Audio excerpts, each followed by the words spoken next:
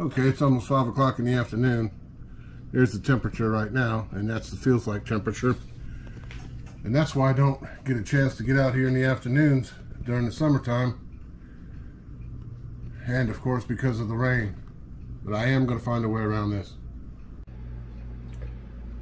What's up everybody? It's been a while since I brought up the crawlers. And here's that last build that I was working on the uh, Austar Hobby TRX 4 clone. And it's pretty much done at this point. I still need to route the wires a little better. Had to put in the fender wells. it's a short wheelbase chassis. And uh, I put a long wheelbase body on it just because I'm a big fan of what I got. But before we get to that, got the Reefs 422 V2 servo, which is pretty strong for this thing. Well, my batteries are charged. And I got the Hobbywing Fusion Pro with the, uh, let's see what kind of radio. That was a GT5, I believe. Yep, GT5 radio and transmitter combo. Cool looking radio. I have zero experience with these things, but I'm learning. And uh, the servos for the two-speed transmission over here and uh, the locker differentials. Everything seems to work pretty good right now. Got my beadlock wheels with some uh, Proline Hyrax tires. and I didn't realize the tread on the original tires that came with it is a Hyrax copy and they look pretty good. But the compound on these are just super, super soft. And I cannot wait to try it out. And the reason why I went with those fender wells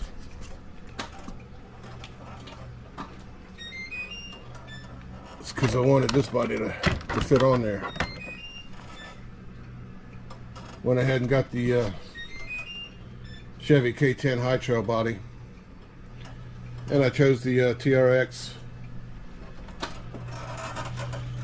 bumper like I got on my original one which I think I showed y'all the the beadlock hobby hobby sole wheels with the super trenchers on there or actually not super trenchers they're uh, Proline trenchers nothing super about them and this body did not come with the uh, roll bar with the lights.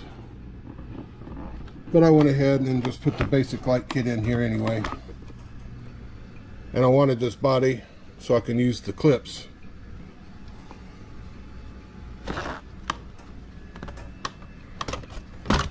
See how that works out on here. Takes a couple hands for me to get all clipped up. But bad part is, is like I said, long wheelbase body, it overhangs the rear bumper. But it runs pretty good, looks really good. Let me get her clipped on, I'll be right back. And here we are with the lights on. Love the detail on these. Looks really good. Unfortunately, I had to trim the body because, like I said, long wheelbase body on a short wheelbase chassis. But that's just going to have to be it. I'm going to try and take it out here for its maiden run.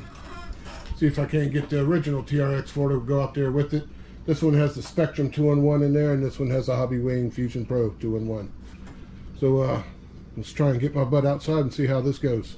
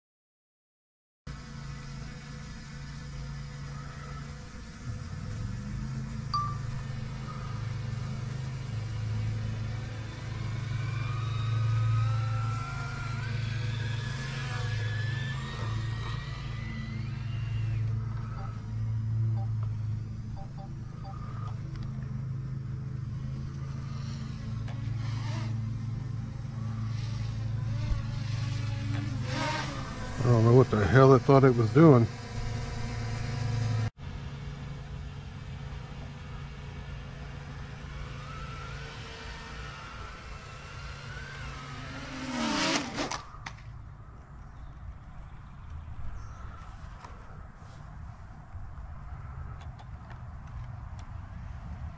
Take off.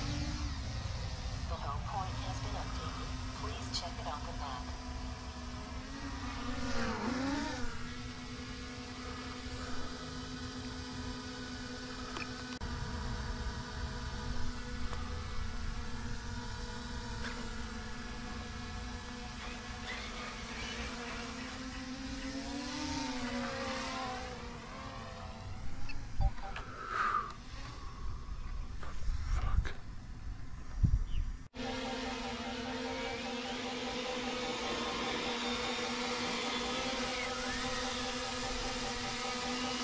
Well, the drone is definitely overheating.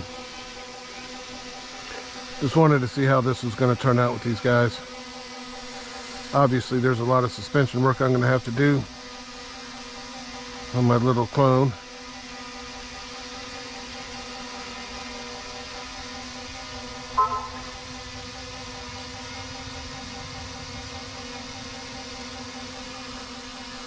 Just wanted to see the two out here together, see how this was going to go. Worth a try. I'm going to try pretty much anything when I can.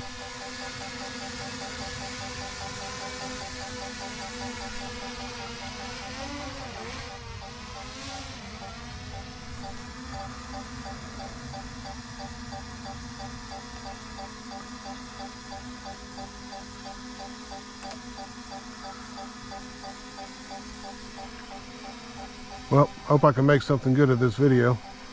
Appreciate everybody watching, subscribing. Please hit that like button, and I hope to see you soon.